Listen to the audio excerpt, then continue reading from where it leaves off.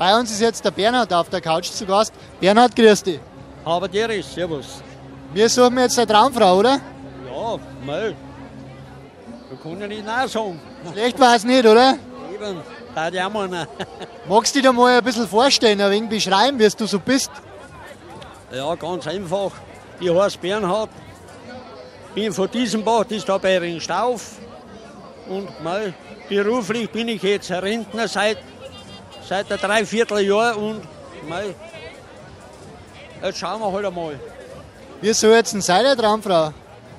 Ja, ich darf schon sagen, echt bayerisch, nicht angeschmiert. Normal halt, ne? Nicht angeschmiert, meinst du nicht geschminkt? Mit nicht angeschmiert, nicht geschminkt, oder? Genau so ist Also, Also eine zünftige ein wenig, oder? genau. Also kein Malkasten nicht. Was darfst du mit der so unternehmen oder anfangen? Ja, es, schau, es geht ja schon gut. Es geht ja schon gut los, der ich sagen. Ja, mei, da kann man nie gut kriegen von dem. Von dem kann man nie genug, genug kriegen. Nein.